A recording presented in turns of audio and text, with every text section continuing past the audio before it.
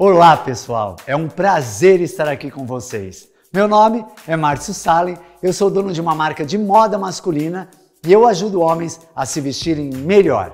E o tema deste vídeo é como aprender a se vestir melhor com o estilo de Steve McQueen.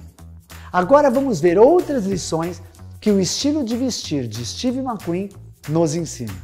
Seja autêntico. Você não precisa recusar o papel principal de um filme como Apocalipse Sinal para ser autêntico como McQueen. Seja você mesmo. Seja verdadeiro com seus sentimentos e suas vontades.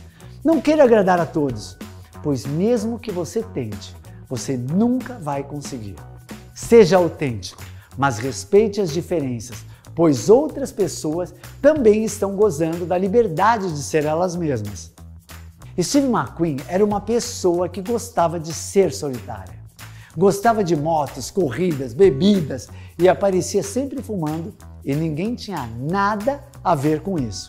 Sua paixão por corridas fez com que ele recusasse outros papéis, uma vez que o que ele gostava mesmo era de se dedicar ao seu hobby. Tenha postura e também uma identidade corporal. A postura todo homem estiloso deve ter. Porém, é possível desenvolver uma personalidade única em cima dessa sua postura. Com o rei do cool foi assim.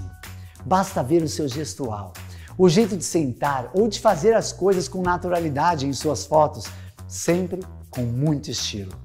Inspire-se em McQueen e tenha uma postura de cara estiloso, sem ser desleixado, claro.